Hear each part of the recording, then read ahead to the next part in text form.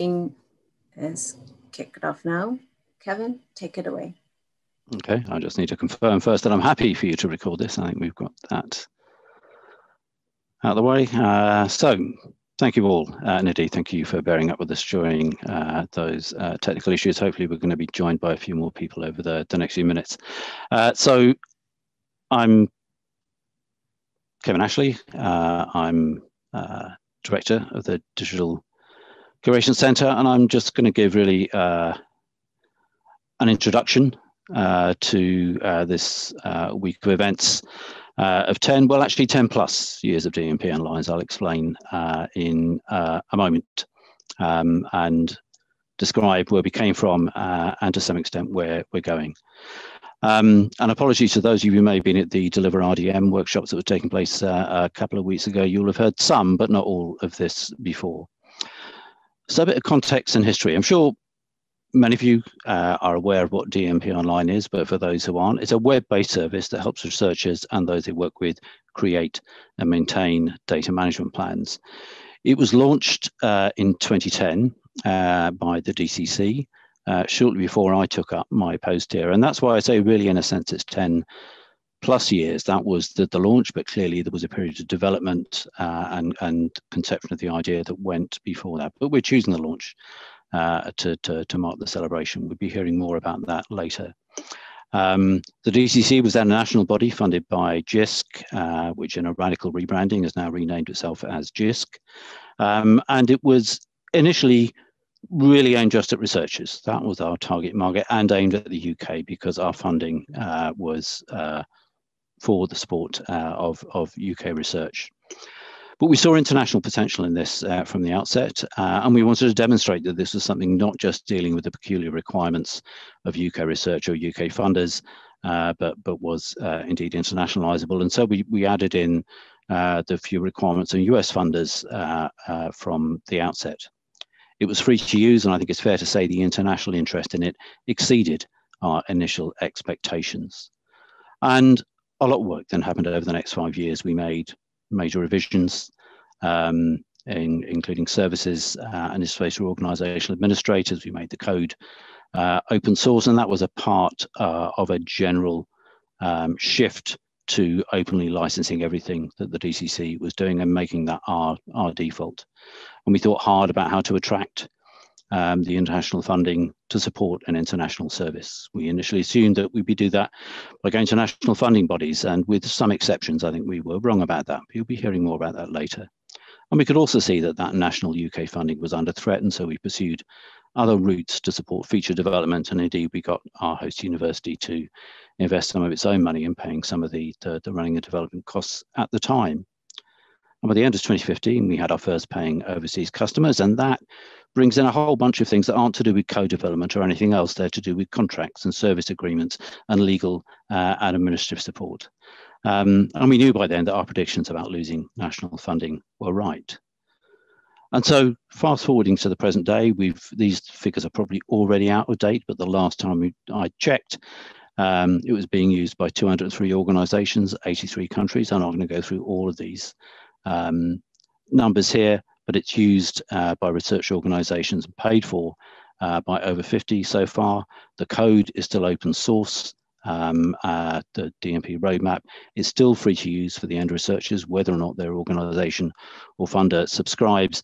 Uh, and I think one other interesting tale about development here is that the team and the service team behind it is bigger than it ever was when we were being supported by national grant funding.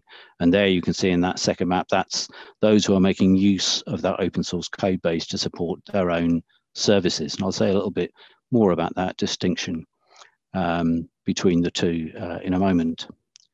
So I think there's a number of different aspects of DMP Online that we're going to consider this week. It was a software development project that became open and collaborative. That involves lots of the issues that that, that code development uh, always has. If you've read the second man month, the, the sorry, the, the mythical man month, one of the, the classic texts uh, of, of uh, project uh, management uh, in software, you'll know about what in other contexts is described as the difficult second album problem. Uh, we've certainly gone through that uh, with DMP Online. It involves throwing a lot of things away, being ready to change the code, even though you don't necessarily want to change what the user sees, or sometimes changing what the user sees, even if you don't necessarily want to change the code very much. But as well as that, it was a means of promoting behavior change amongst researchers, funders, and research organizations to think of data management planning as a, a way of working that helped you do better research uh, and, and produce better results for society as a whole. It's also a service that moved from grant support to self-sustaining support with all of that implies. And each of these things, the code, the behavior change, the service aspects are interlinked, uh, uh, but different. And to give one example, really, there are many services using that same open source code base DMP roadmap. So DMP tool uh, in the USA, uh, DMP Assistant and DMP Online are all services, quite distinct services with different promises to their users, different ways of engaging with them that are all using a single source code base. There are many, many people to thank, uh, that, and we're going to be hearing from some of them this week. I guess some of it really is my predecessors in DCC management. When I came along here, I inherited something that was already in existence. Uh, so thanks uh, I'm sure to Chris Rusbridge, a previous director, Graham Pryor, who was the assistant director at Edinburgh, uh, and all those who originally sanctioned the idea that this was uh, a good thing to do. The funders who at different times have supported it, JISC, the European Commission, and the University of Edinburgh. The project and the service managers, Martin Donnelly, Sarah Jones, Patricia Herterich, uh, all of whom I'm glad are, are, with us today, and we're going to be hearing at different times about their uh, experiences. Um, a team of developers from John Pattenden Fail, Adrian Richardson, Patrick McGann, uh, a team from Dean, Jimmy Angelakis, Jose Loret Perez, John Pinto, Colin Gormley, Martin Nicholson, Sam Rust, and Ray Carrick, who've been supported at various times by interns, Thea Hyam, Killian Dunn, Damodar Soika.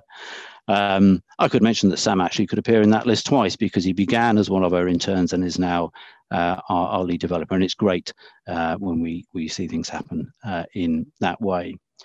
There's also the collaborators uh, on, on that uh, open source project, uh, and particularly really got to single out the team at the University of California Curation Center, Brian Riley, Stephanie Simms, Marisa Strong, John Chodacki, uh, uh, my counterpart over there, and Maria Praetzellis. Uh, and apologies if I've left anyone out from that particular list. I mentioned moving to the service, you know, we've got um, legal and admin issues to deal with. Uh, Lorna Brown uh, and David Matheson uh, in, in the U University of Edinburgh legal team were really key to getting that underway. It's involved user testing and indeed a help desk, Diana Sisu and Magdalena Getler, I give particular credit for there. Uh, and many of you are familiar with Magdalena Drafiova, uh, who's our customer development manager. So what's going to come this week? Well, you're going to hear more about that service from its beginnings to its future. You'll hear more about those effects of behavior change we're trying to achieve from users, funders, and RDA working groups. And hopefully you'll get to talk with us and share your thoughts and plans on the future of data management planning and how it can benefit research. So I'm going to hand over now to those of you, uh, to those who are going to be able to cover all of these aspects for us this week. Thanks very much. Thank you, Kevin. Um, and especially thank you for doing the list of names I, I learned over the um, past few weeks when we did the, the preparations. I, um, I learned to appreciate how many people were involved in getting here. Um, next, that's on the agenda is actually myself giving a quick overview of um, what's to come this week. Um, and again, welcoming you all um, officially to uh, our 10th year anniversary celebrations. Uh, I'm Patricia Herterich. I'm the currently um, DMP Online pro project product manager.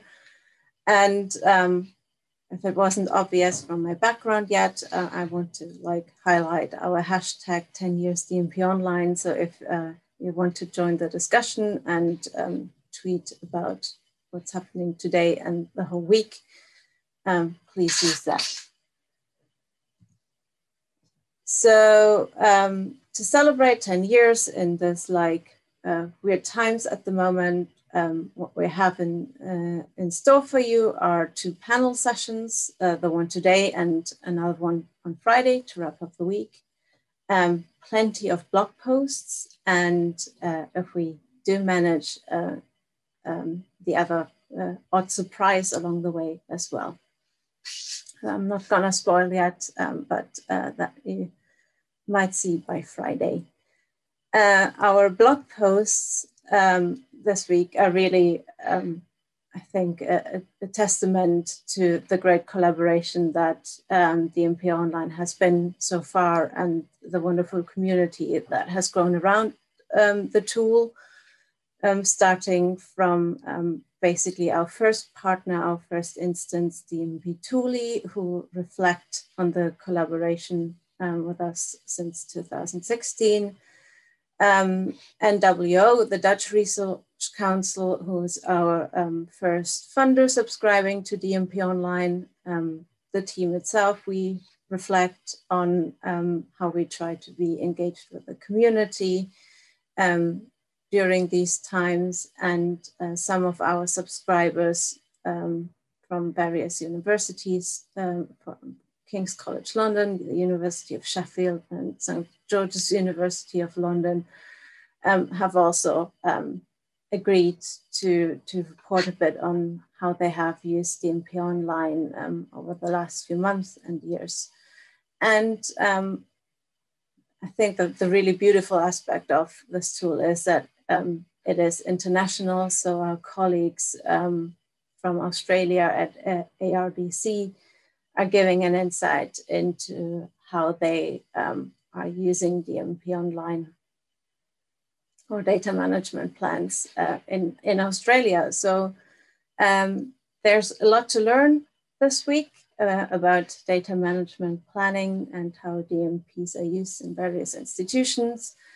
Um, most of these posts are up already, so you can go off and read, but we will highlight them uh, throughout the week um, on Twitter, so keep an eye out on that, and that can be your breakfast, uh, lunch break, or whatever uh, uh reading um, this week.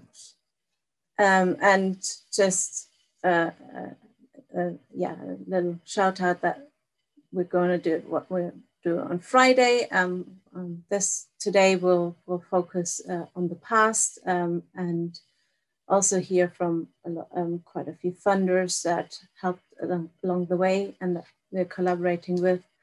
Um, and on Friday, uh, again, we will um, focus on the future and collaboration with uh, our colleagues from CDL joining us. It's a bit uh, more friendly time for them, but I know that we have US colleagues here that joined uh, this early, so thank you for that. Um, colleagues from France and Canada will join, and um, the, uh, we will also hear from the RDA group on machine actionable data management plans. And because we want to look at the future of um, uh, data management plans and um, what it might bring. We are interested to hear your ideas and thoughts. Um, so if you can summarize in 40 characters what you think um, or what data management plans in, in, the future might do, might look like, uh, you can let us know on Answer Garden. I'm pretty sure we make that link available in the chat in a second. If you need more than those characters, um, feel free to um, put it on Twitter using the hashtag again, and um, we will pick all this up uh, on Friday in the session and hope we have um, a nice and interesting discussion about the future. Um, that's our plans for this week. Um, but yeah, let's go back into learning a bit more about the, the history of DMP Online and how we get to um, where we are at the moment. And uh, to do that, I'm handing over to Martin Donnelly, who was the first ever product manager for DMP Online. And um, will let us know about how it all started. If Martin, are you okay to, to share? All good? Hi, yes, yes, thank you, Patricia. I'm, I'm here and, and hello to everybody. Um, uh, I'll now go ahead and share my screen. I hope this works. Um, so here we go. Could somebody just tell me if that is uh, visible? That yep. Yeah, that's fine. We can see you on screen. Okay, wonderful. Um, so uh, thank you very much, uh, Patricia, Patricia, Magdalena, Kevin, and everyone for the invitation to uh, speak. I, am no longer a member of staff at the DCC, but um, as, as has been mentioned, I um, was the first um, product manager, although I never really had that. Um, we, we, never had such professional terminology in place. I was just the person that people moaned to. Uh, I think that was my official title. Um, so I, am going to talk a little bit about how uh, DMP Online got started, and it didn't um, actually start with the software; it started somewhere else. So believe it or not, uh, once upon a time, uh, there were no DMPs. Um, there, there, there, there certainly was no um, uh, widespread movement towards them. Some projects had them, um, but they, they, weren't required by many funders. Um, and that changed, and, and it changed possibly um, as a result of Liz Lyon's intervention with her consultancy report on dealing with data, uh, which said that each funded research project should submit a structured data management plan for peer review as an integral part of the application for funding. Um, so we uh, took a look at this and thought, okay, data management plans are going to be coming, um, and uh, we um, made a, um, a, work package at the DCC um, on data management plans. Um, and really all the, the, the, our ambitions at the time uh, extended only to producing templates. so DMP Online almost didn't happen. If you look down, the uh, development of an online planning tool was the ninth of, of 10 sub-deliverables uh, for um, work package B3.7. Um, and we, we put down for description or, or when, uh, if achievable. So uh, this was only if we got towards the end of uh, all of the paper-based stuff. Um, so um, it, I guess we can count our lucky stars that we managed to get through uh, the first eight uh, of, first seven or eight of these um, of these stages, and we did in fact develop an online planning tool. Um, so what we started off with was um, a draft template where, where, Sarah Jones and I um, consulted uh, with, with various stakeholders and produced um, a long list of um, uh, categories and of specific questions which were derived from funders' data management plan uh, requirements or, or, or, data management requirements, really, as they probably were. Um, and, and we made these generic and put them into a, a checklist. And the checklist was very basic, as you can see here. Um, and uh, the checklist uh, became um, the earliest DMP online homepage, uh, also known as Mockup for John, which was the title of the file that I found when I was digging back uh, to show John Fail, who was the first uh, DMP online uh, developer, what it is that we sort of had in mind, how the generic questions from the checklist mapped to um, specific funder requirements, uh, where, the, where the user would enter their input and where advice or guidance that's come to be known uh, would, uh, would be included. So that's, that, that's effectively the, the, the, earliest DMP online homepage. And John turned it into something rather better than this. Uh, and the first, this is the first real DMP online homepage from 2010. Um, and um, it, John uh, often protested at um, how much was being expected of him on little um, on little effort, and um, so consequently, um, after we had uh, launched the um, uh, the tool at the JISC conference, uh, I've given JISC their, their, their fully capitalized uh, pre-rebrand uh, name there because I think that's historically accurate. In, in I think it was April of 2010, where Sarah and I did um, did a JISC demo, which uh, given our nerves, we scripted quite uh, uh, quite thoroughly. Um, we started to get a bit more serious with it, and and this is another document which I found when I was sort of looking around in my files, uh, the first DMP online vision uh, and mission. Um, so as as um, Kevin mentioned, our initial uh, audience was the UK research community. So the first vision was to be the natural tool of choice that members of the UK research community use to create and maintain legitimate stroke acceptable data management plans for their work, according to templates endorsed by and produced through close liaison with research funders, HEIs, and other stakeholders. So the, the endorsement of the funders was something that was quite important to us, and that was something which, uh, again, we thought uh, would not be too difficult to come by, uh, but too deep.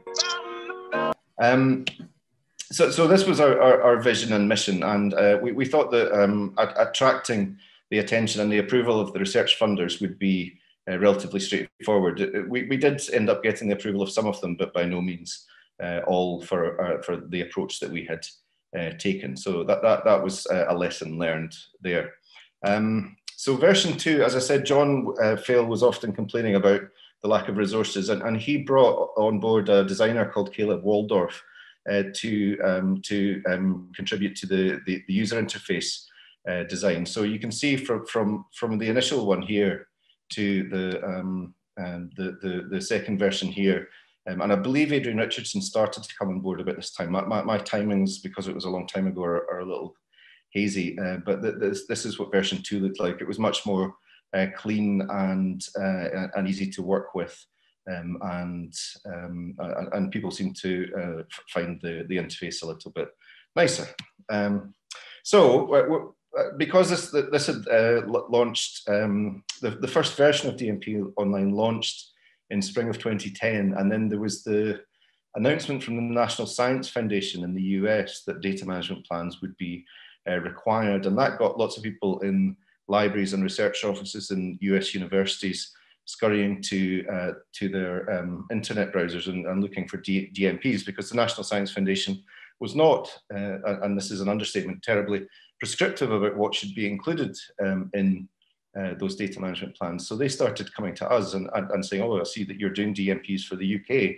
Um, can we talk to you about how we might do something for uh, the US? So um, we uh, had the, the uh, International Digital Curation Conference in Chicago, Illinois, in December of 2010. Uh, and at that, we met um, a bunch of US uh, universities. And I, will give a shout out to Sherry Lake and Andrew Sallans from the University of Virginia, um, there's a picture there of Sarah Shreeves, who was at the University of Illinois at Urbana-Champaign. Um, and, and, a consortium basically of US universities and projects came together to develop um, the US equivalent um, of DMP Online, which came to be called DMP Tool. And, and I um, uh, served as an advisor uh, on the, the project committee uh, or, the, um, or the board uh, for that. And um, that went down quite well. And, and our collaboration um, eventually was um, um, included as a finalist for the Digital Preservation Coalition's Award for Research and Innovation in 2012. So we started to make friends, we started to get noticed, and we, we were beginning to grow. Uh, DMP Online version 3 launched in the spring of uh, 2012, again uh, with, a better uh, user interface, still with this, the, the same horrible logo that I put together um, in, in, a, in probably about four minutes um, what one rainy afternoon. And I remember where I was when I did it, thinking, well, it's rubbish, but it'll do for now. It'll get changed. It actually lasted a lot longer than I expected, but I'm glad they have uh, a proper one made by a real designer. Um, so that, that had um, new features like overlaying multiple uh, templates, uh, things that we take for granted now, like shibboleth authentication, uh, and the API for systems interoperability. Um, cru crucially, we uh, promised more endorsement from funders.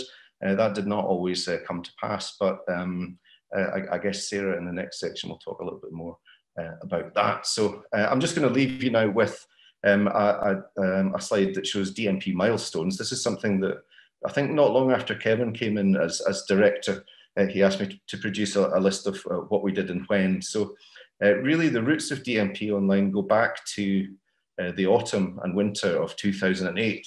Um, but then the, the actual launch of DMP Online uh, was in April 2010. So we are definitely still in the, uh, the, the, the, 10 year um, decade anniversary year uh, of the first version of the system.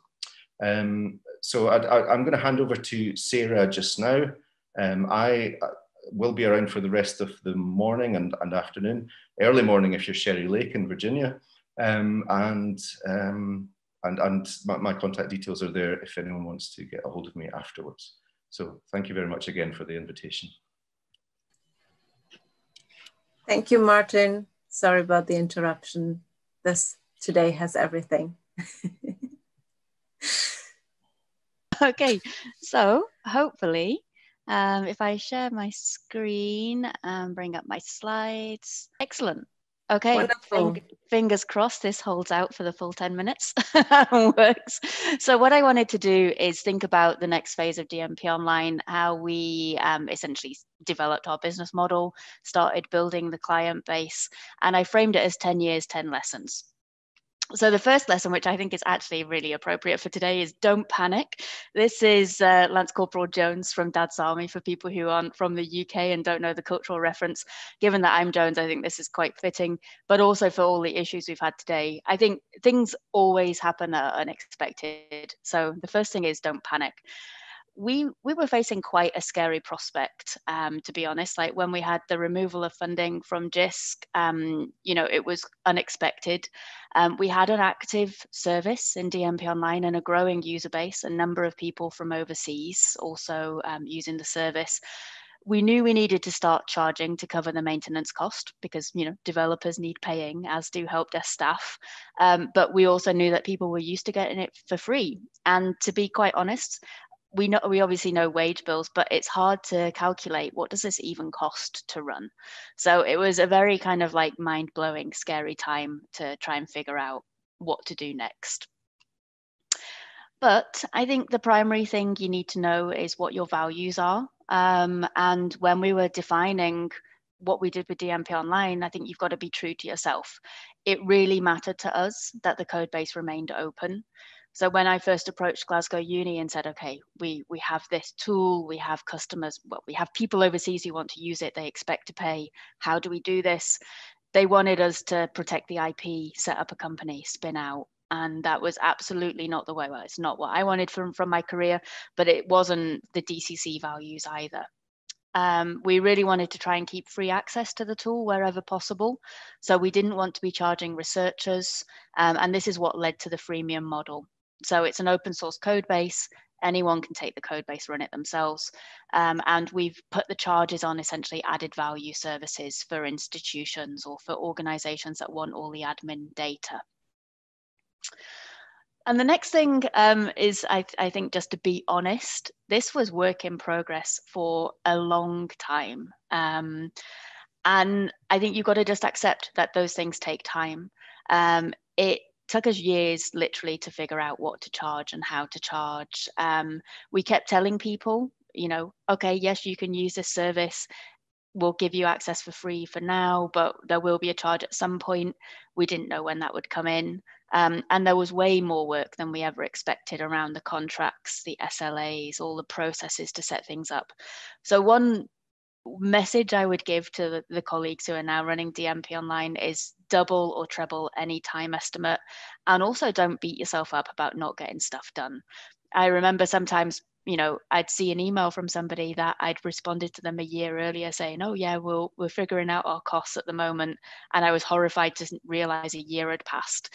But there is always a lot to do and it's difficult work. So try not to beat yourself up. And then also uh, another lesson was just sounding people out. So as I said, we kept telling people, you know, we are going to charge. It was very much a finger in the air when uh, you know we were thinking about the price range and we'd quote something on an email and get people's gut reactions. Um, i also spoke to people in a number of different unis to try and understand their positions. Was it easier to pay for a membership or was it easier to pay for like a service with a certain contract? So we did some very loose market research. Um, we probably should have done more but you know there's only so many hours in in a day and then we got to the phase like halfway through okay we have to just do this. We have to just put out our charges start you know developing the service.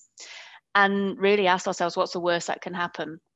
You know we could end up with no customers. We could end up with some upset people. And we did have a few unis that were disgruntled because you know the charges came in. They couldn't put it into their plan. They found it difficult to transition um, but actually, what happened was that we uh, we kind of grew very quickly.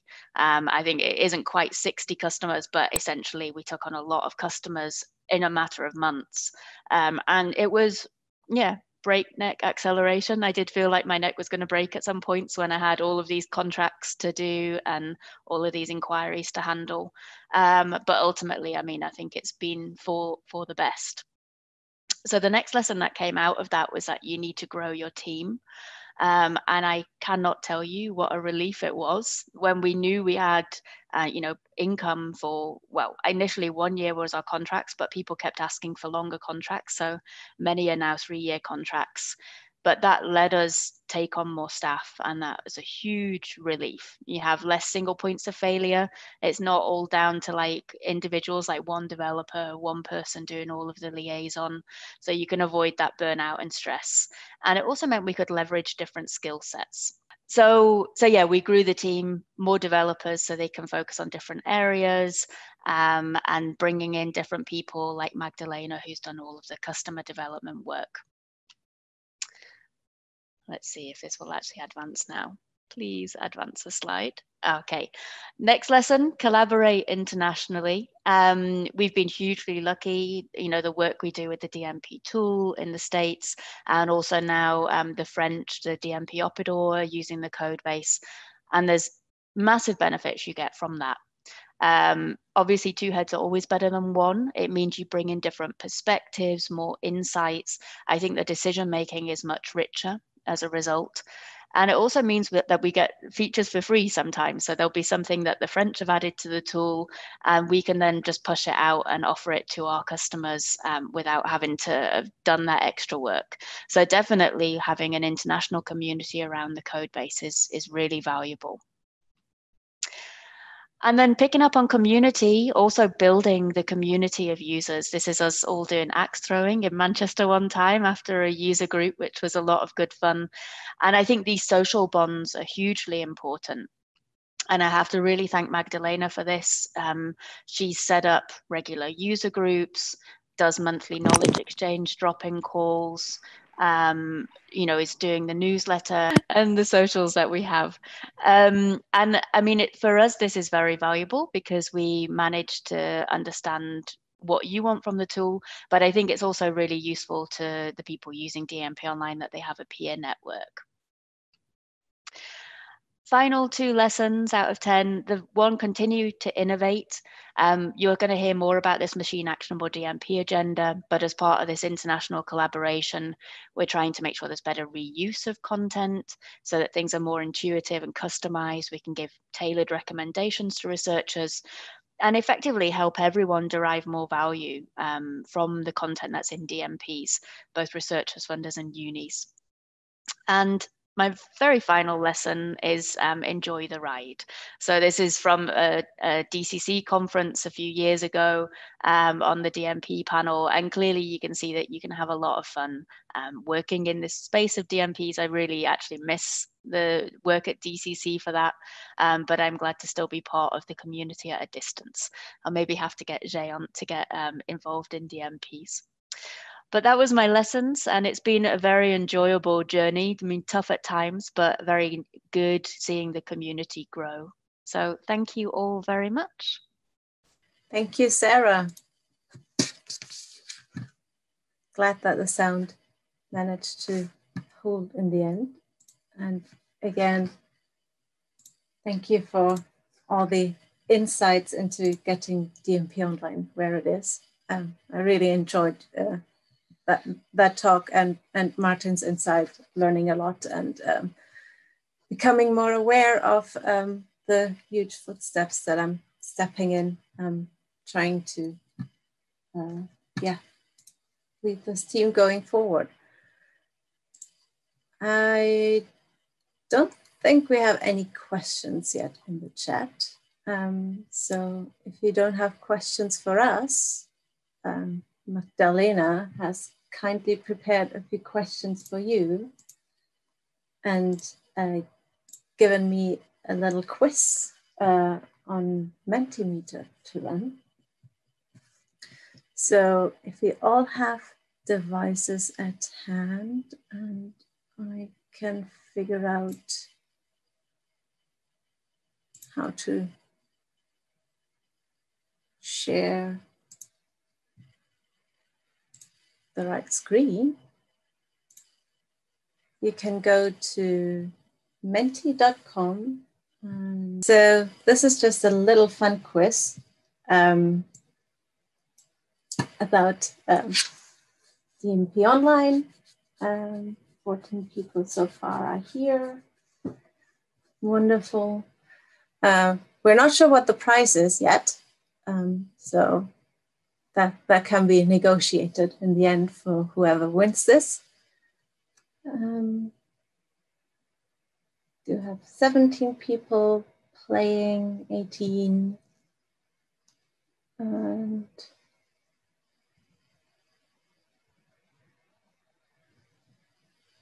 40 in the call. I don't know. I don't blame anyone that doesn't want to play.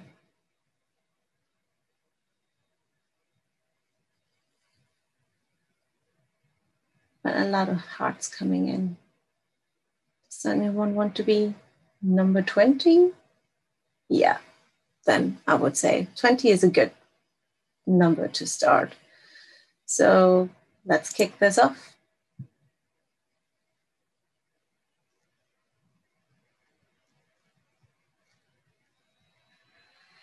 Um, I think you have 25 seconds to answer each question. Um, again, it's at like to whoever's quickest and right gets more, most points. And let's just see.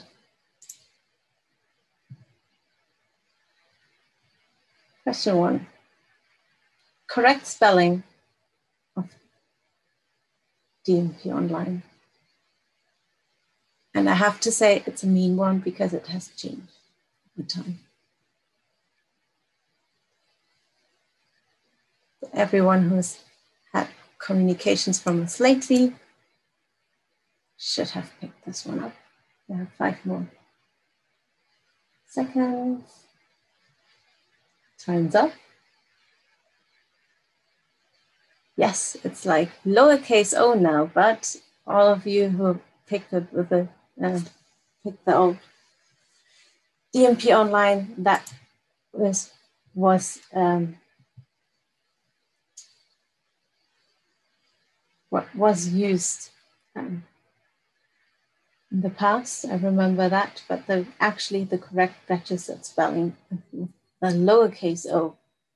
So that's the official registered one. So good on the 15th that got that right and actually pay attention to all the all the things that we send out. Next question.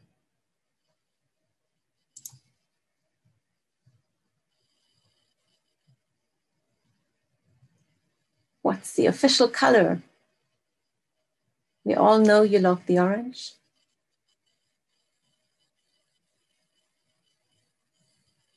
But which orange is it? You're confusing us by making some of the oranges blue. Oh, is that what happens when you click? Yes, I thought the same. You have to look at the number.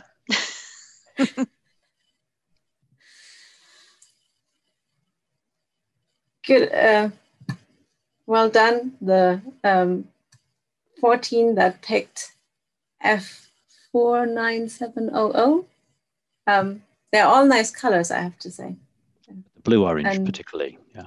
Yeah, blue orange. We should introduce some blue next time we do a rebranding. It's essentially the Scottish orange. It's like the mix. And for those of you who have uh, an enhanced subscription, you might actually not see that much of um, the, this beautiful orange because um, you have might have tailored your DMP online pages to your um, institutional colors. Right, next question.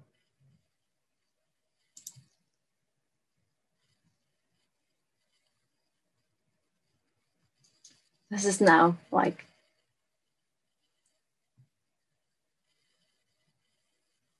the test of who paid attention to uh, Martin's talk.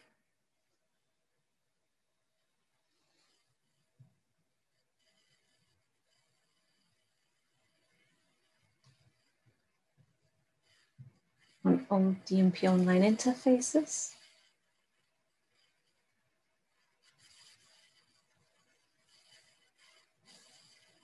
And one where there were two correct answers. That's mean.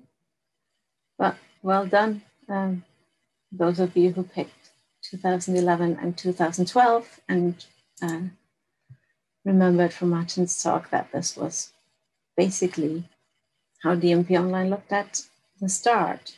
Yeah, halfway through, we don't have an intermittent leaderboard, uh, which is a bit of shame. I'd be curious to see how people are doing, but that we'll see at the end. Question four. When did we get our first subscriber?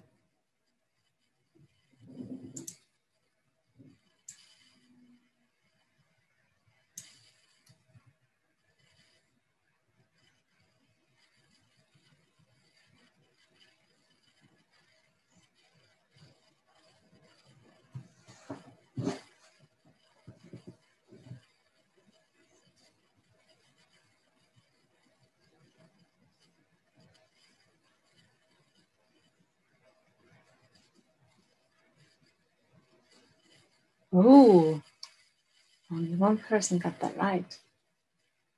That's tough. Thank our first subscriber was DMP Tool.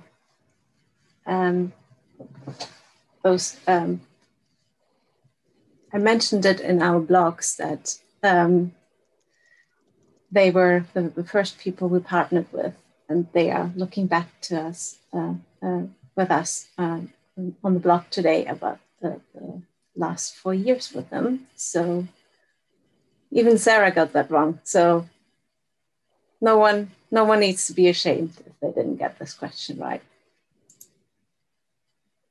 Question number five.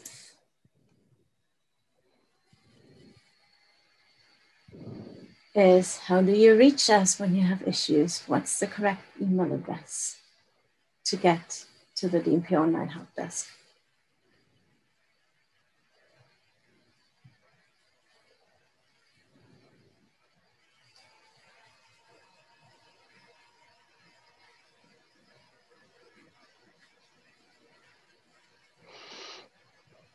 Which is a difficult one as well, because they all make sense. But yes, the majority got it right and has been in touch with us um, via the help desk or received messages from there.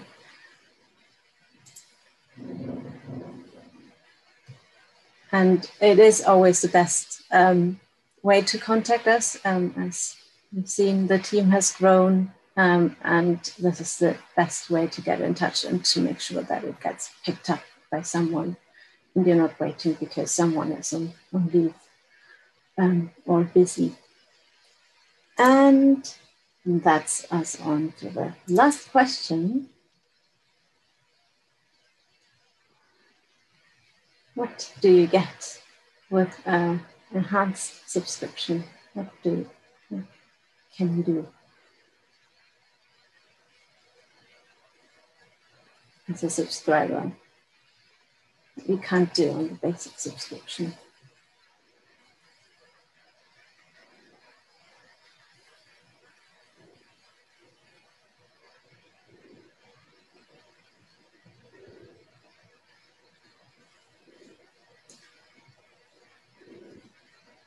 And a lot paid attention to the question where we talked about uh, adding your own colors. You can actually do quite a, a lot of things. You can um, add your own customized URL, you can add your logo, and you can even customize your static pages um, to your uh, institutional setups. I like the person that picked Unicorn Dust. Dust. Uh, I really, really think we should try and find a way to make that possible. Absolutely, in a future release. Yes. As an and appropriate premium it is. It, it, I mean, it is the uh, uh, what's the what do you call that? It's the official Scottish animal that you have on your passport for heraldic. So there there should be unicorns around. I still have to find them, but um, yeah, working on the unicorn dust edition. And now,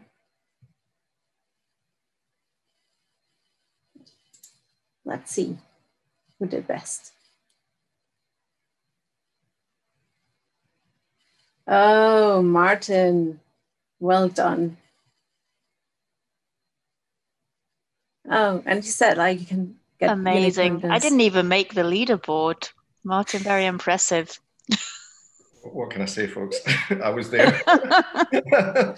you have a better memory than me. I think I've just got old.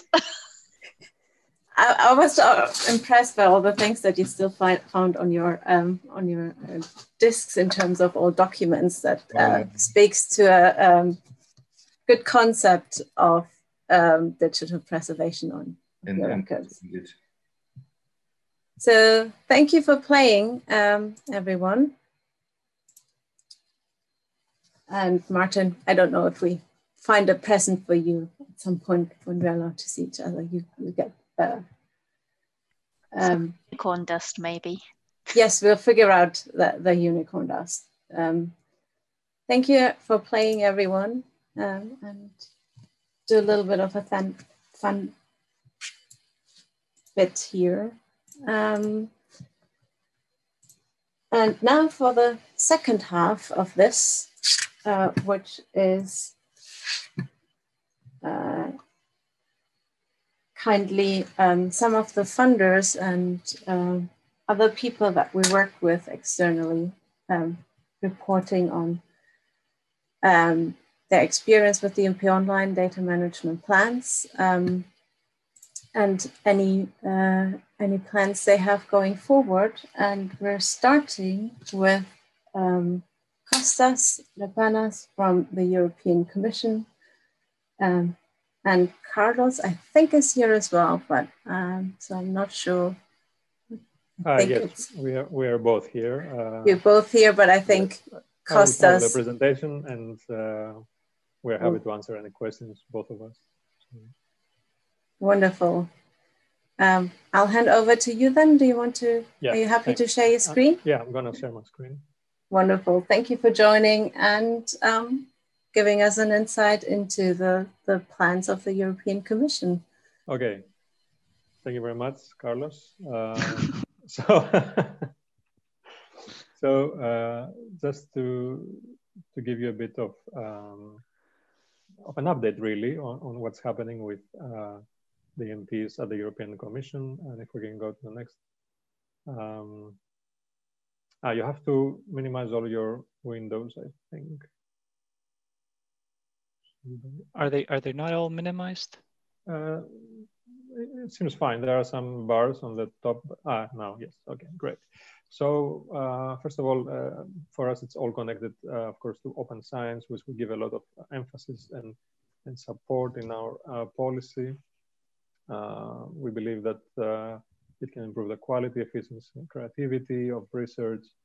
Um, it can help against the reproducibility crisis. And of course, uh, as we have seen also in the current pandemic that we are going through, uh, it has been really um, vital to be able to share uh, results of research very quickly and as openly as possible.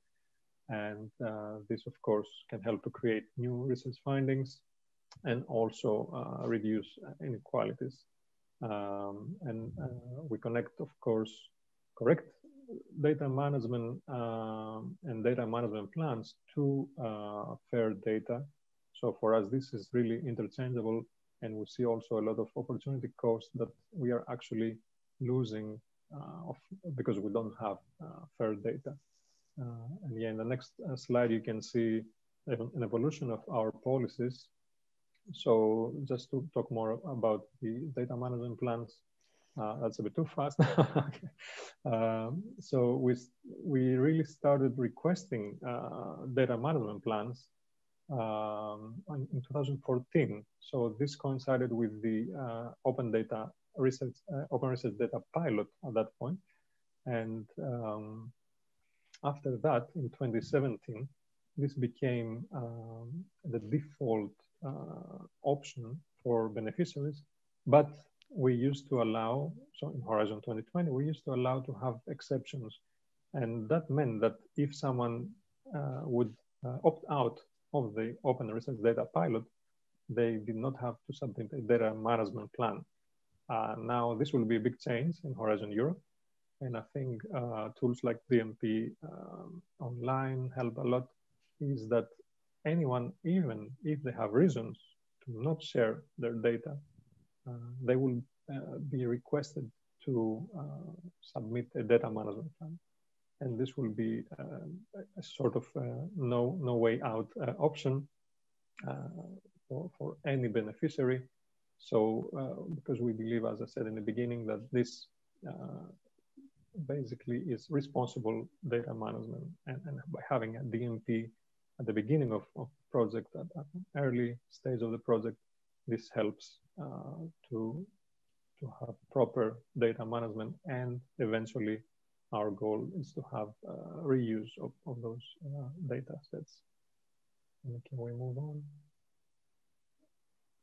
So what we expect to see in Horizon Europe, uh, these are still uh, sort of uh, not, not fully agreed upon, but very likely to, to happen.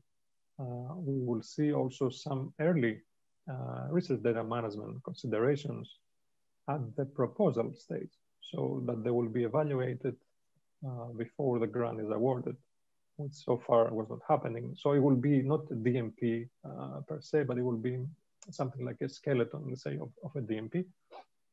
But it is important to have this also at the evaluation uh, stage. And then, uh, as, as I mentioned, uh, we want the data management plan to be uh, accompanying every single project, uh, no matter whether uh, beneficiaries will share data openly or they are not able to, and they will ask for an exception. and ideally, and this is something that um, we have discussed with with uh, colleagues at DCC, but uh, we, we, will see how this can become a reality. But we would like the DMP to be a living document that is updated through the lifetime of the project and to, uh, again, ideally be machine actionable. And this can help both the beneficiary and the funder as we collect information at the end of the project and as we do an evaluation and reporting for the project. So this can be a whole uh, workflow that basically uh, beneficiaries do not have to uh, enter and re-enter uh, the same information again and again, but this moves across a pipeline of, of services and what you state in your DMP in the beginning uh, actually can be your reporting at the end. So there, there's still things to, to figure out uh, there, but um, what we hope to happen with the DMP is that beneficiaries think about data early. So they don't wait until they have the data, until they publish, and then they decide what do we do with the data. But so we expect data to be uploaded in the repository, uh, again, to the extent possible, to have a PID associated and to have metadata in line with FAIR principles. Uh, and again, depending on how things develop, uh, we have some uh, requirements that will um, uh, possibly make an obligation to use uh, repositories federated under EOSC, the European Open Science Cloud, and to provide open access, for example, with Creative Commons licenses. And Next, please.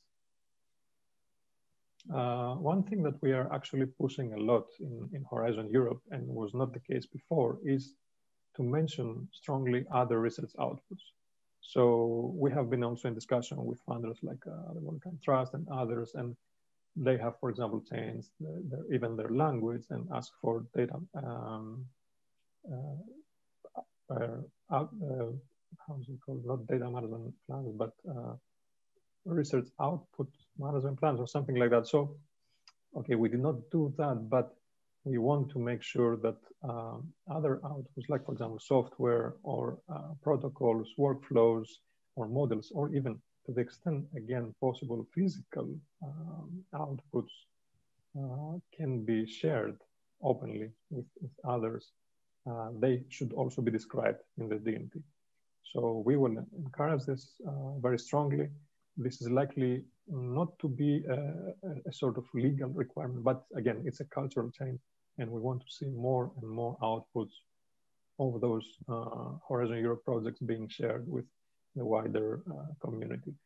uh, for, in some cases, we, we are still working with uh, several stakeholders to even understand what this means. So for example, software, uh, software is a special case. And although some of the uh, FAIR principles apply to, uh, to, software as well as a, as a digital object, uh, we know that there are efforts in RDA and Elixir and in other places uh, and we are in contact to, to see how, and then uh, I forget, not to forget the Research Software Alliance as well.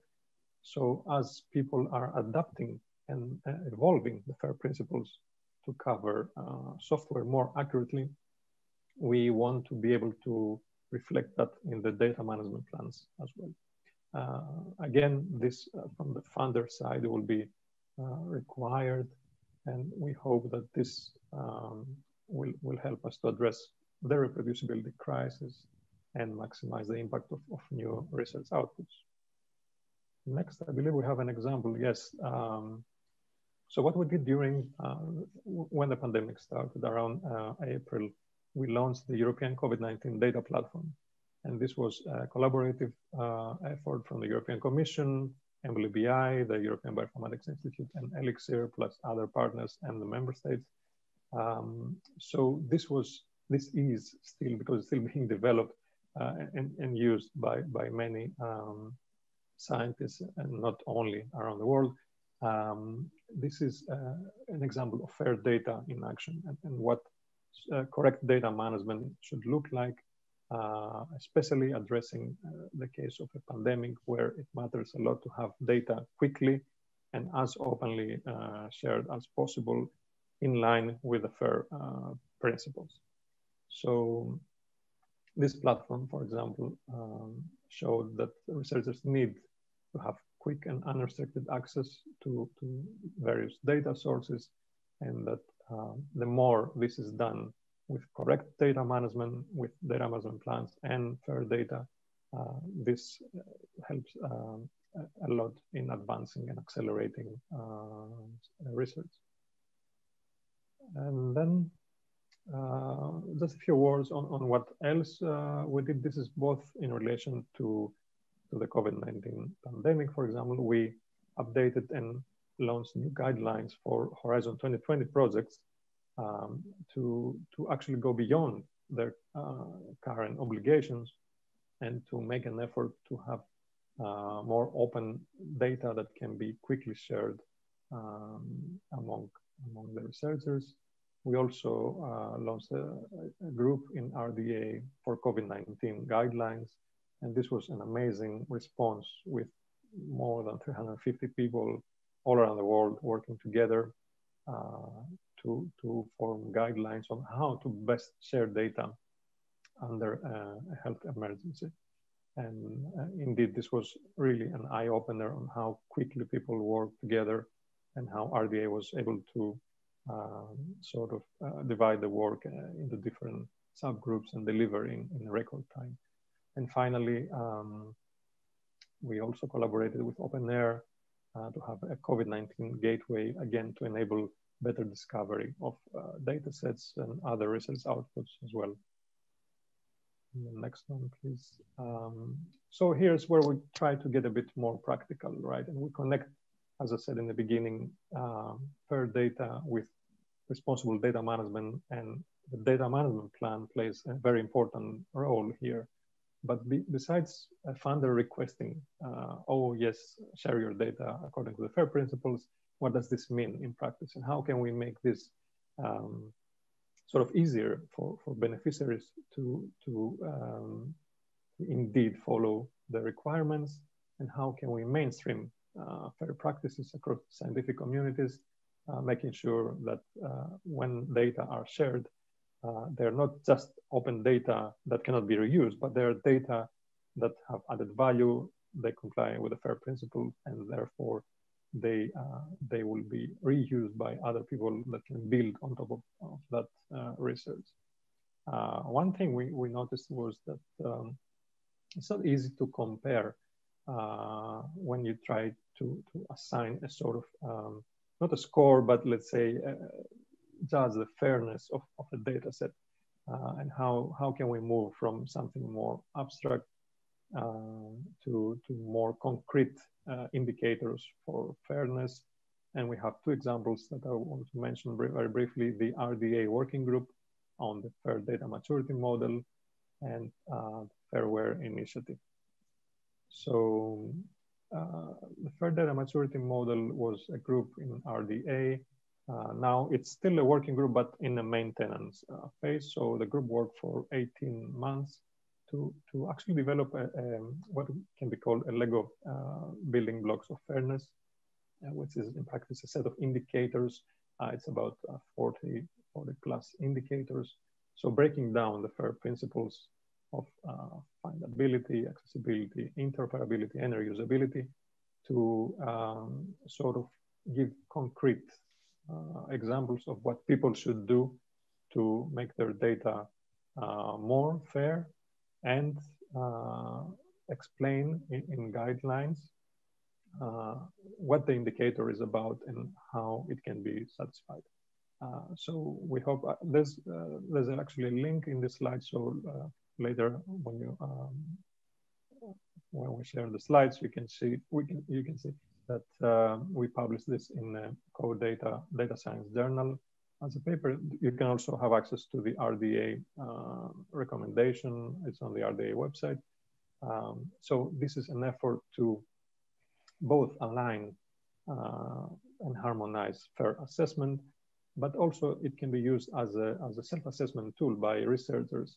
And uh, this would be interesting, I, I, believe, moving forward to, to see how data management plans can connect to this sort of assessment to give an idea to, to a scientist, to a researcher of how am I doing? Um, the way I plan to share uh, and store and um, uh, sort of archive data uh, am I reaching a sort of level of fairness? Although we don't want to be very pres prescriptive and create new metrics that uh, you know people can be taken aback and, and say we, we don't need perhaps uh more stringent uh, metrics, but we see this as as a change in, in the behavior of, of people and uh, sort of more self-improvement tool.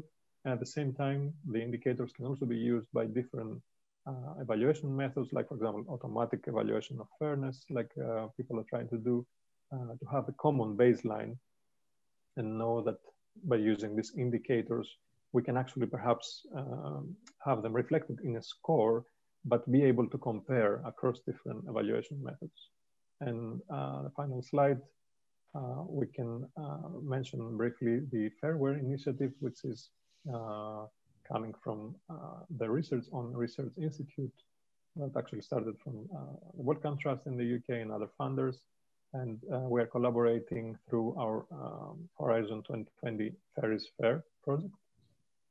And um, this Fairware uh, initiative uh, ideally would like to create an open source tool to be able to judge the fairness uh, of, a, of a data set but again, not to create um, a, burden to, to uh, researchers and scientists by uh, sort of uh, only uh, introducing new um, new rules, let's say, for, for fair data, but to, to actually create this uh, different levels of, of maturity of, of a data set and be able, uh, and scientists and researchers be able to uh, improve their data sets and at the same time ideally uh, funders also being able to check or repositories being able to check whether uh, data set complies with certain um, uh, requirements uh, for, for fair data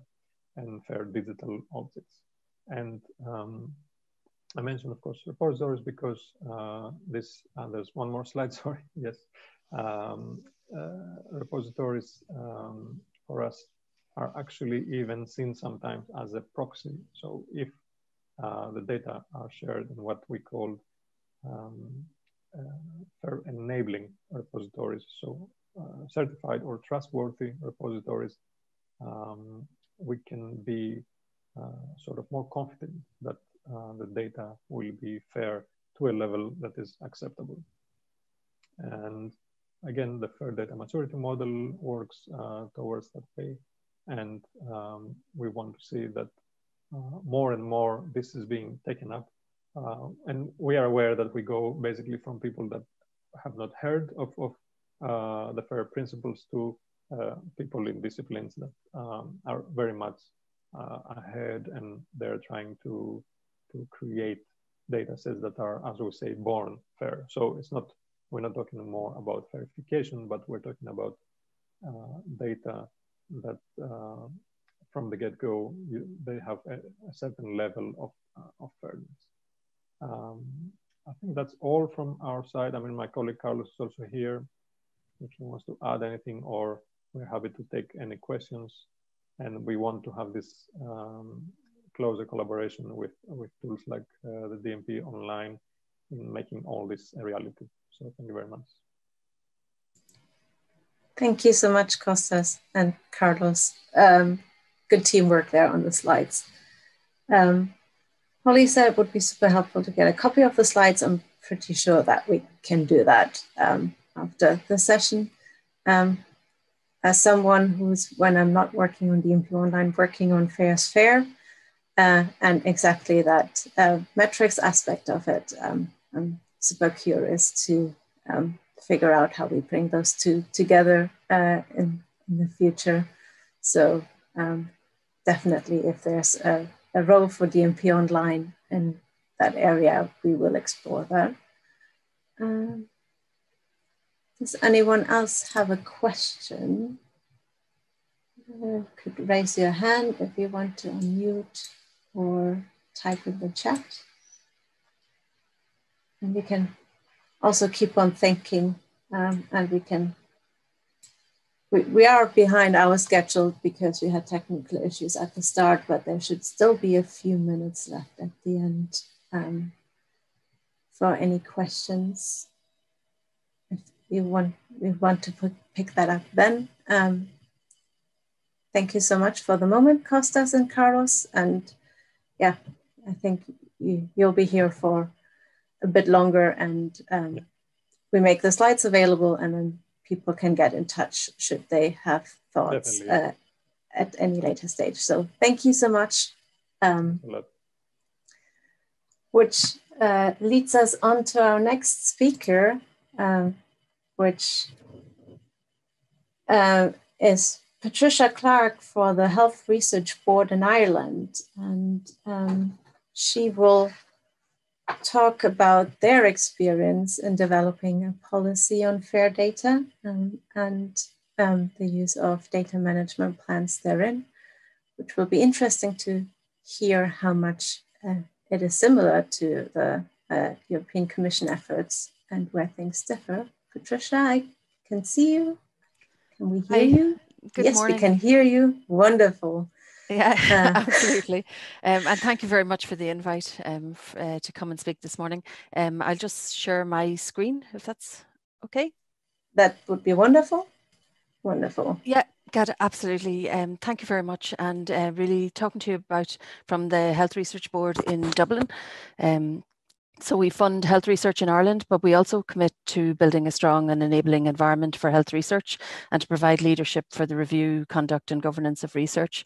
Um, we have a particular interest in open research, open science, and um, want to make sure that our, research, our funded research is open, accessible and reusable um, so that it can have the greatest impact.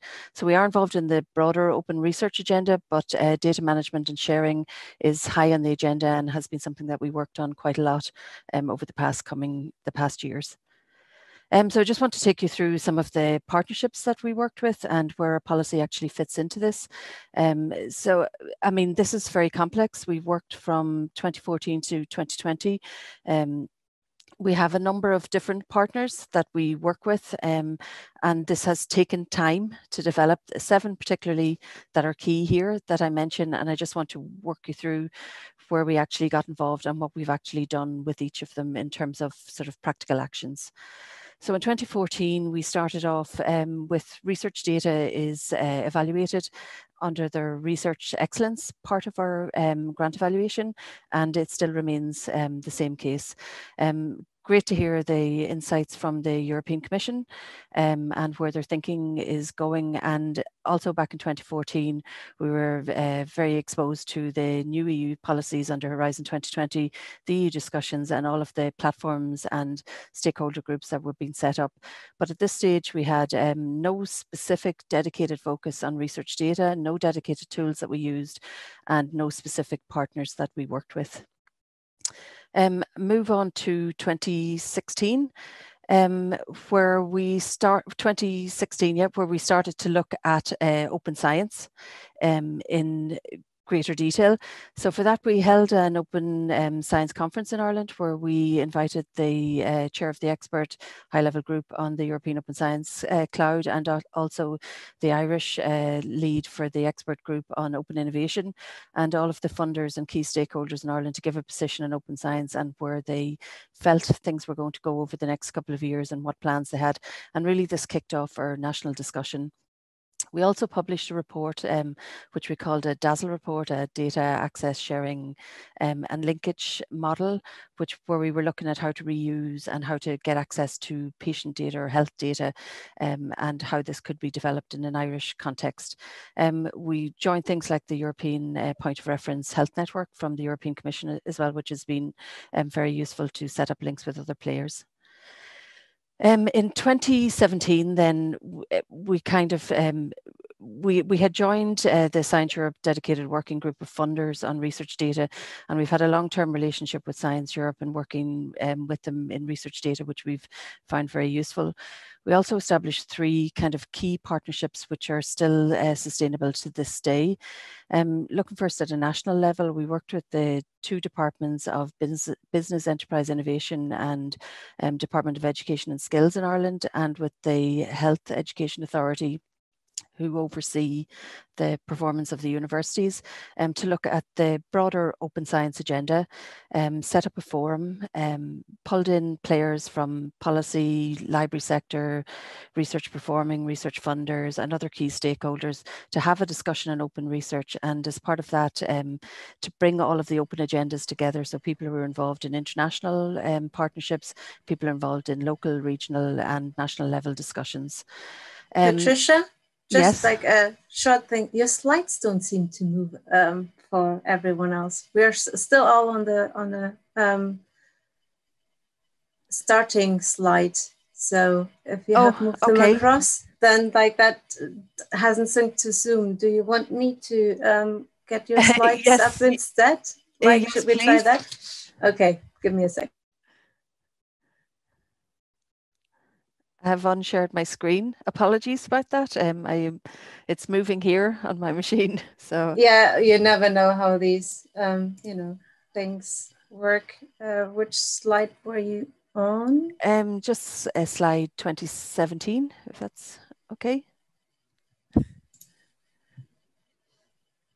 Um, I can keep talking while that's put up. I mean, the two other key partnerships that we have are the um, partnership with the Go Fair International Office, um, where we worked with uh, the Go Fair team to actually upskill uh, people who were already engaged in university and um, clinical trials facilities. Um, we connected them into a mentor scheme. Um, so they spent five days over in Leiden and then had access to workshops and um, developments back home. Um, we wanted them to sort of uh, be very au fait with the fair data agenda and to talk with a single voice um, and actually to network them and get to know them better. So we had one message across all of the institutions. Um, the second uh, or the third group that we worked with were F1000 researchers, the publishers, um, to bring an open public publication model for the HRB into the public sector in Ireland. So as part of that, they have a, a there's a open data underlying policy built in. Um, support for researchers to understand why this is necessary, give them advice on data repositories. And as part of that, we made it easy for them to use um, so we had F1000 staff who went around the country and talked directly to researchers um, and we provided a central APC model in-house and also a national steering group of champions from each of the different institutions to actually help on that. Um, so next slide. and I don't, I, they don't seem to be moving on my end, but I'm assuming they are. So for uh, 2018, then um, we took the um, data um, stewards that were trained and mentored through the Go Fair office and wanted to give them some hands-on practical experience of working with um, budgets um, and researchers. So we kicked off a fair data pilot. Um, and at this stage, uh, they went out to work with people through two of our largest funding schemes in the HRB and to sit and prepare DMPs and to look at how much it would cost, um, and how it would work for, for different institutions across the system. Um, F1000 then we're working with researchers to look at uh, the open publishing and we also signed um, the DORA um, statement to support all of this work um, and to look beyond sort of journal impact factors which we'd never really stressed um, within the HRB just to make it explicit of how we actually did more work with our um, more work with our panels and with how we actually uh, sort of explicitly sort of work to a uh, to recognize the underlying value of the entire research portfolio. Um, next slide. So in 20, 2019, then um, things became very busy. So we had some internal awards from ourselves. We took our DASSL data linkage model, data linkage and shareage model, um, and we funded a proof of concept with our high performance computing uh, group working with the health service executive. Um, we ran a secondary research data um, reuse um, call where we funded six different partnerships to work on reuse of existing data sets. Um, and we also funded or uh, published our policy. So it wasn't until 2019, so it's like five years after we started looking at this that we actually funded a dedicated policy in this area. So the policy that we have is for all um, calls from the 1st of January 2020 um, all have to make their expected to make their uh, data underlying data available and um, plus the materials around um, the research data so software and other things that were mentioned by the European Commission.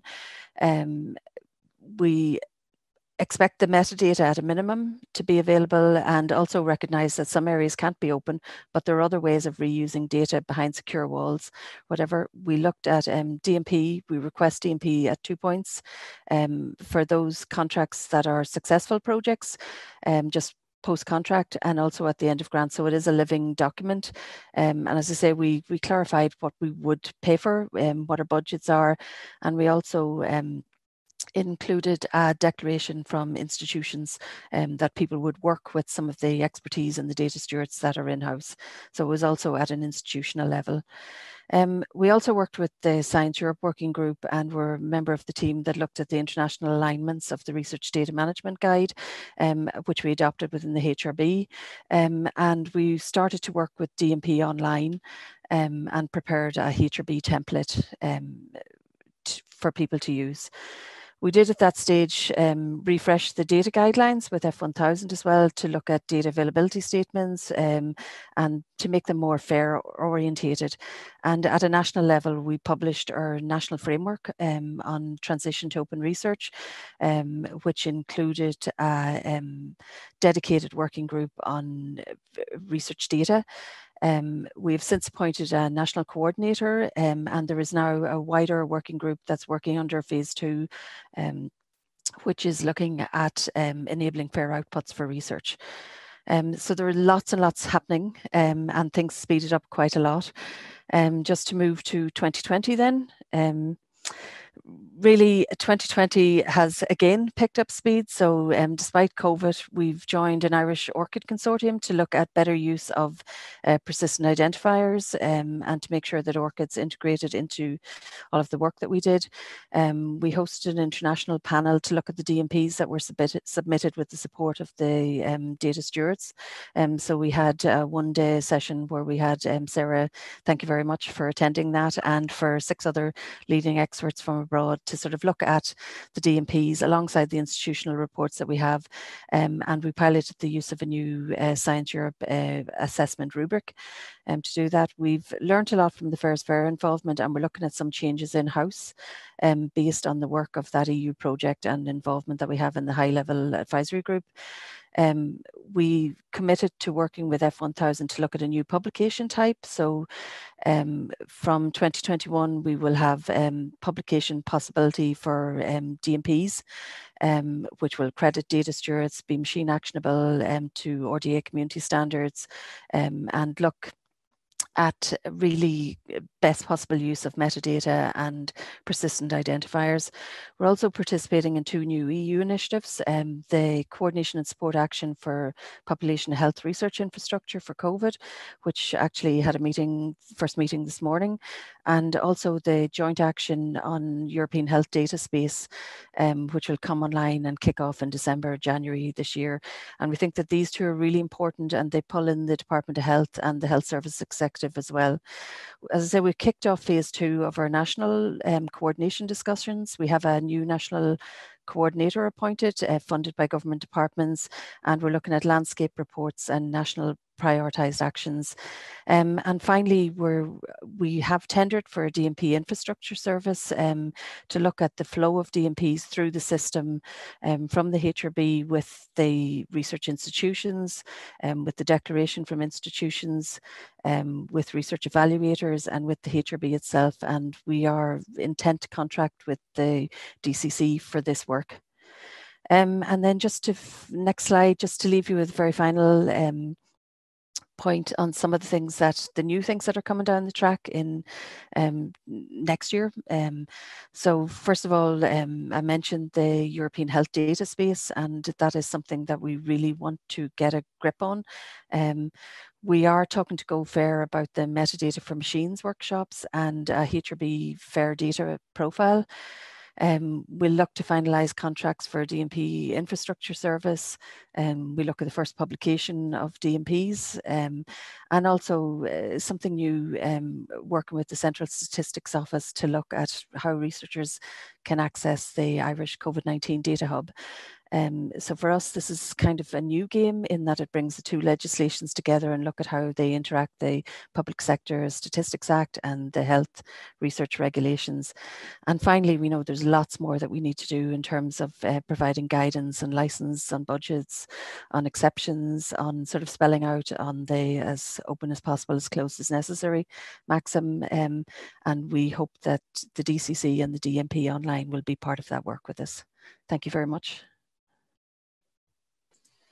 Wonderful. Thank you, Patricia, for that. I've been told that my screen sharing didn't work 100% either. So I don't know what's wrong today. Um, but uh, yeah, again, we, we, we will hopefully get the slides to people so they can catch up um, uh, on anything uh, that they might have missed. Uh, so yeah, thank you so much for that insight into um, the um, efforts in Ireland. We do have um, some people from Irish institutions on the call who are really excited to work with you on that. And um, I can see on behalf of uh, the DCC and the DMP Online team, um, um, yeah, we're uh, happy to collaborate in that area um, as well. That looks really, really interesting and um, uh, good effort. People are complimenting your references. Uh, that's an EU directive that I'm not entirely sure I'm super familiar yet with, but um, something that we that uh, Jerry from DANS is mentioning that that's good.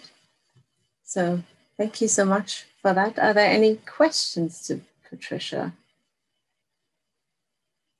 Just compliments so far in the chat. So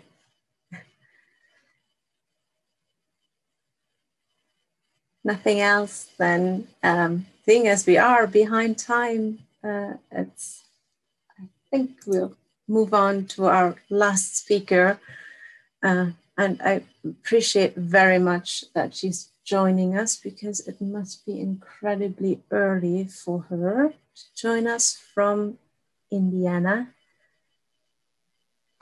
um, and that will be Natalie Meyers, who um, is one of the chairs on the um, RDA group on exposing data management plans um, that we as DCC and the DMP Online team have been involved in uh, as well. And um, she'll report on the work that that group has done, if she's still on the call. Hi, yeah, great she is. You.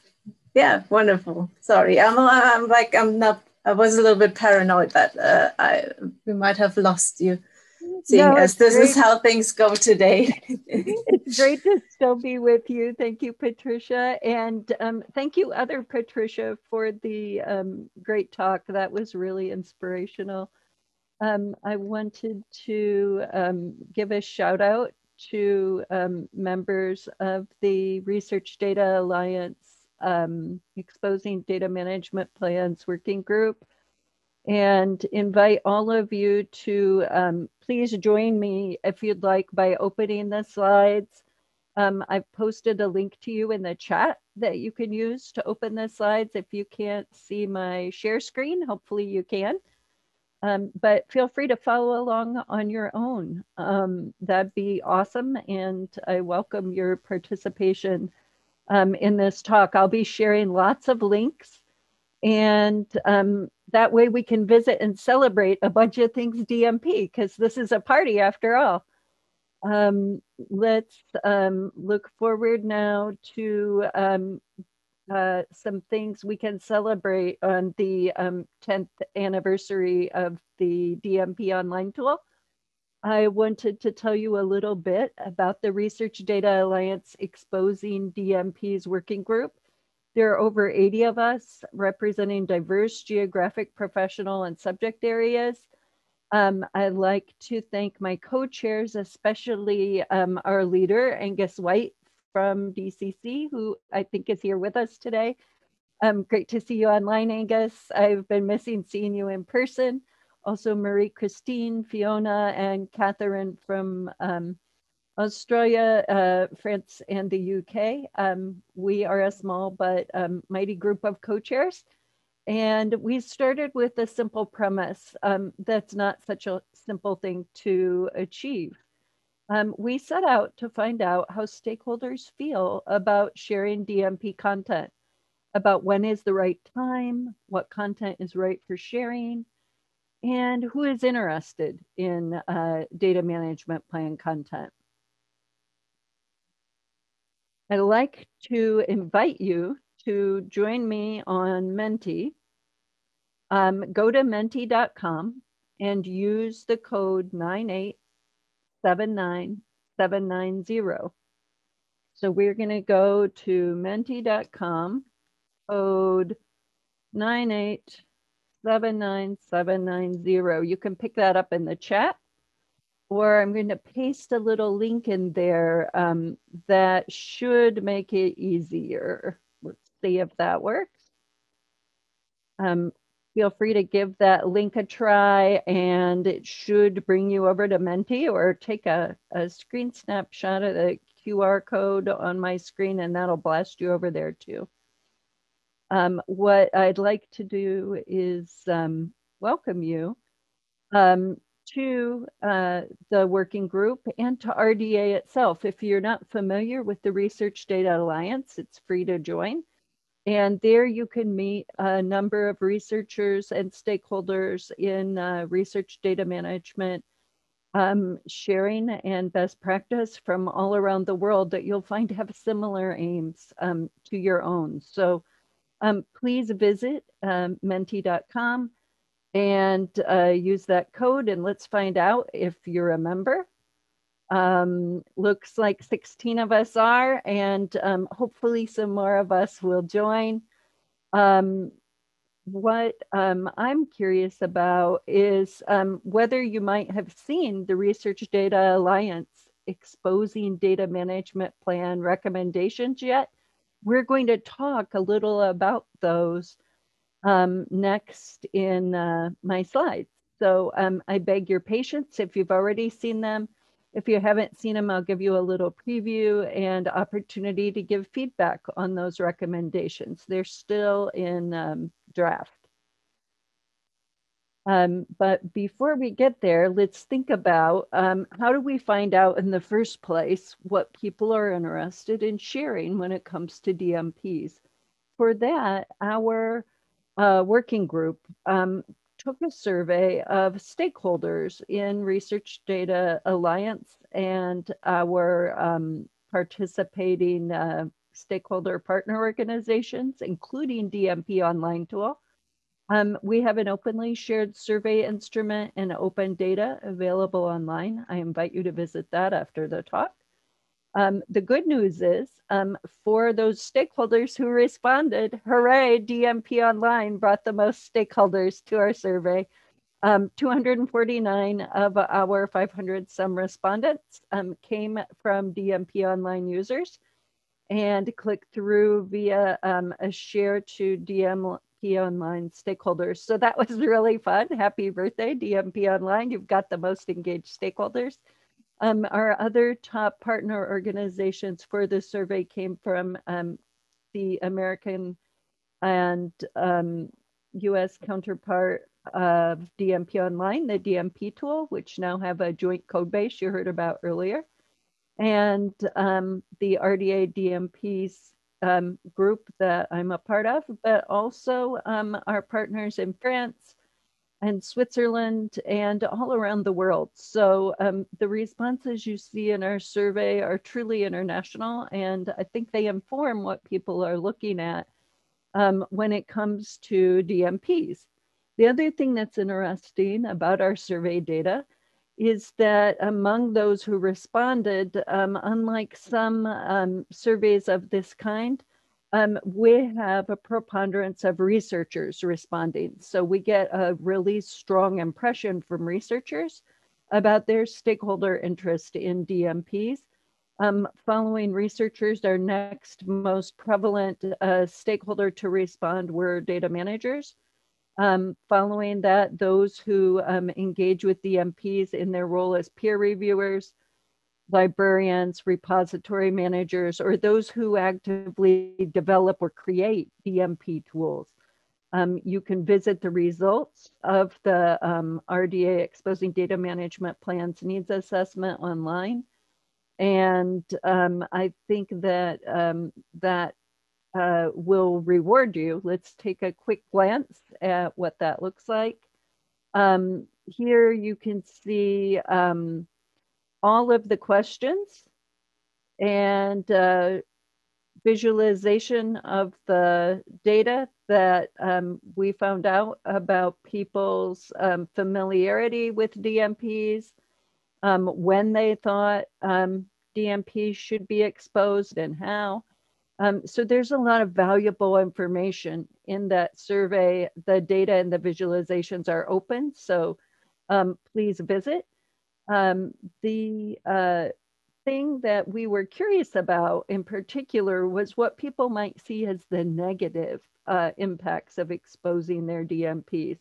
46% um, were concerned about exposing sensitive information. Some were afraid there might be negative perception of any changes or variances between how they shared and what they'd originally said in their DMPs. Others were worried about getting scooped. Um, when we asked about what conditions or guarantees should be considered when deciding to expose data management plans, um, stakeholders were interested in um, being able to make selective disclosure. In other words, um, share certain portions of their DMPs and not others, or share to um, people uh, on an embargo period so that they might share with uh, funders and peer reviewers first or inside their own organizations and then to the general public later. And um, for that, they wanted access control over uh, what parts of their DMPs were shared and with who. Um, let's look at what the positive impacts uh, they saw were. Um, they're mostly interested in the positive impact of improving transparency and being able to see shared DMPs as exemplars um, for creating their own. And um, some stakeholders were interested in seeing shared DMP content so they could better evaluate the cost of data management and do resource planning.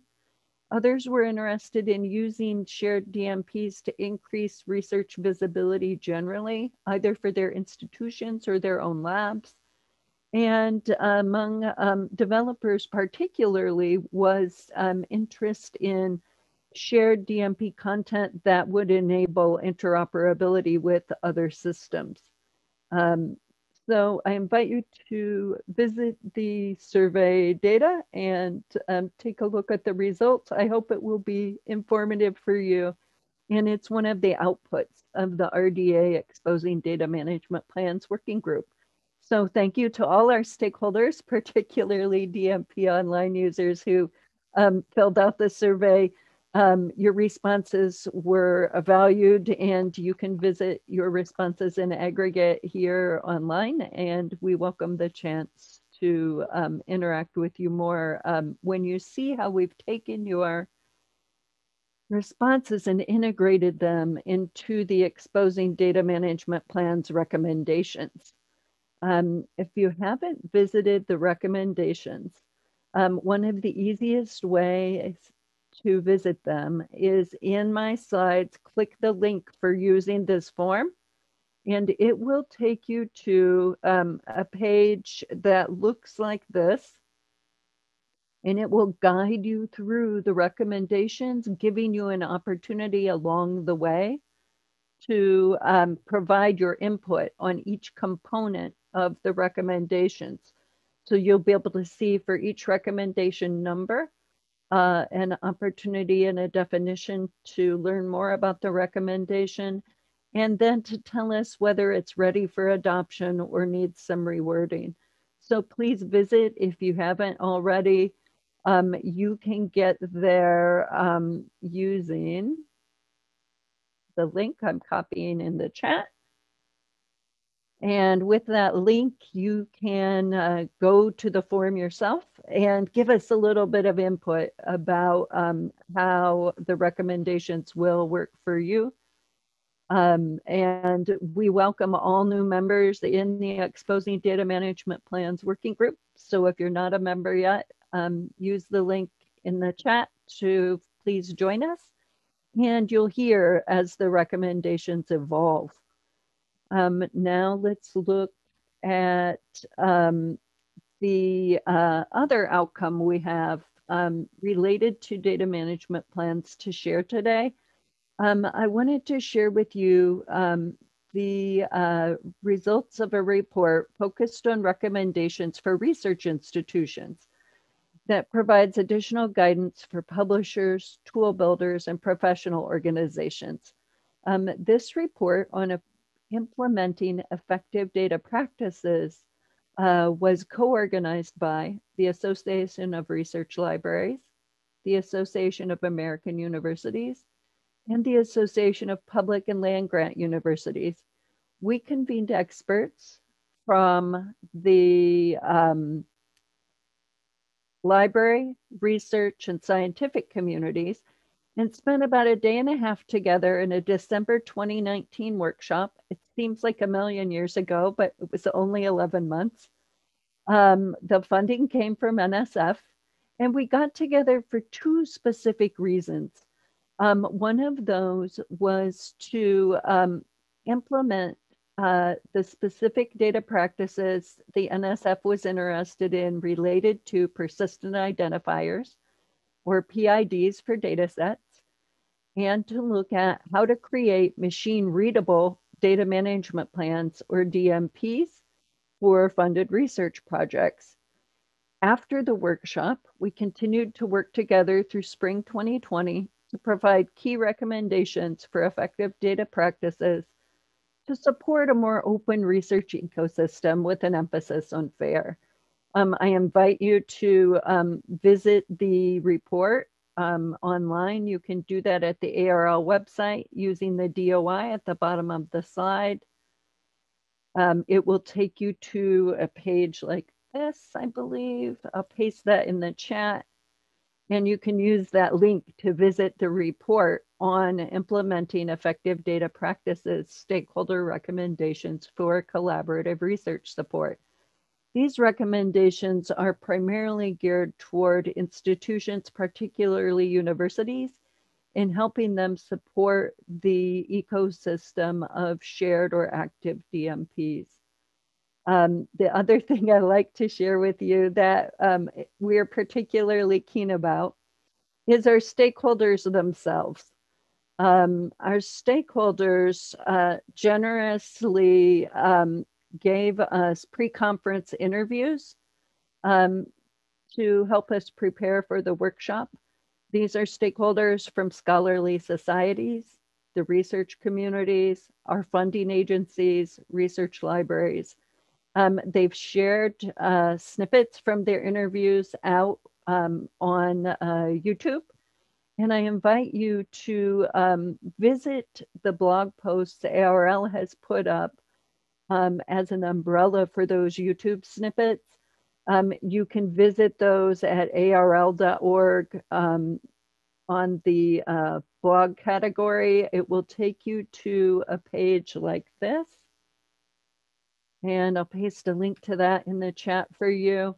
Um, if you go to that link, what you'll see are um, a series of three uh, blog posts um, talking about why the work matters for PIDs and DMPs and active DMPs. And you'll see interviews from stakeholders like Ben Pierson from Gates Foundation, Clifford Lynch from CNI, Jason Gerson from PCORI, Margaret Levenstein from ICPSR, Dina Paltoo from National Library of Medicine. And I think you'll enjoy to hear what they have to say. And the interviews can be accessed on these snippets on our YouTube channel at ARL. Um, they're short, like a minute or two at the most, um, little tiny snippets um, that will help you engage with the perspective of various stakeholders surrounding um, sharing uh, DMPs and using PIDs for data sets in such a way that we can make the content from DMPs more interoperable in university settings, higher education, and laboratory research, not just for compliance, but to encourage uh, support for those who have research data sharing mandates and to help others benefit from the shared data in uh, DMPs. So I encourage you to visit it, um, listen to those YouTube interviews. They're a lot of fun. Um, I really appreciate the chance to spend this morning with you. I've learned a ton. Um, so happy birthday, DMP Online. Um, you've uh, created a world of opportunity for us to open up not only how we think about data sharing and benefit from it as researchers, but also to think about how we can build better systems that interoperate against that um, active content in data management plans, um, which really are a window uh, to funded research and to some of the solutions that we need to build a better world together um, through our research projects. So happy birthday. Um, it's been a fun morning with all of you and uh, great to celebrate this anniversary with you. Thanks a bunch.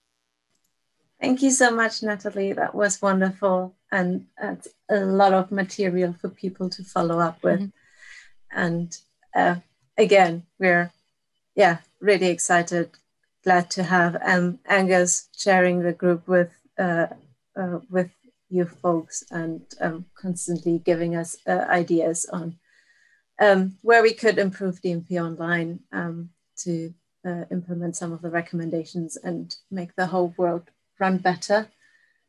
Uh, I don't know if there are any questions. We're also at the end of our time. I'm very much aware that we've kept you all for quite a bit and be use of the full two hours due to all kinds of difficulties. I don't think I've ever run a Zoom call like that that had like every every possible thing go wrong. Yeah. Um, I don't know if you can hear me, Is my yes, audio working? Can. Ah, it is okay. So, so no, no question from me. Um, but I just wanted to say, like, how impressive it is, given all the tech issues all the way through this, the number of things that have gone wrong, just how smoothly you've run it. So, big congratulations on that. Um, and I think that I was impressed by the range of talks, kind of looking at the history and then where different funders are going and where we can take things now. You know, that now that we've actually got so much content in these different systems, how we can leverage that and and connect up different different systems. Um, so no, it's impressive to think where the tool's going. Um, and yeah, proud to have been a part of it. So excited to see what you do next. Thank you. And uh, I can only say this is due to the, the wonderful community you have built, mainly the, the fact that everyone is uh, willing to celebrate with us and um, give, a, give a short talk.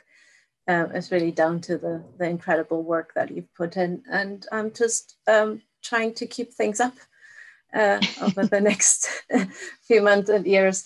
Um, so thank you everyone for, for making the time to join us. Um, we will double check uh, what we've sent out in terms of uh, information to connect on Fridays. So, um, you know, keep an eye on, on uh, your inboxes, those who've decided to join us for both sessions. Um, we'll double check to make sure um, that Friday uh, uh, runs smoother than today, hopefully less technical issues. Uh, as interesting talks, um, actually quite a, a, nice follow-up, I think, from where we ended. Um, a lot more insight into international collaboration and uh, where data management plans might be going in the future. So um, I'm excited for Friday. We'll double check to make sure that technology doesn't let us down thank you everyone for joining and celebrating with us. Um, we'll try to get this recording and the slides out. So everything that hasn't worked, you can catch up with. And again, um, thank you so much to all our speakers, uh, the DMP Online team from the past, plus uh, funders like uh, Kostas, Carlos, Patricia. Um, we couldn't be doing this as successfully, I guess, without your support and uh, the wonderful community that uh, exists around this in various uh, research data alliance working groups. So it's lunchtime in the UK. Uh, I think this is a good time to wrap up and for uh, all of you to have a break and some food, more coffee, whatever. Um, thank you so much for joining us. Uh, see you again. Um, Yep. Thank you. On Friday or on Twitter uh, and on the blog. You, you're a wonderful community. Thank you so much. Nice to see you all. Bye-bye. Bye. Thanks. Bye. Bye bye.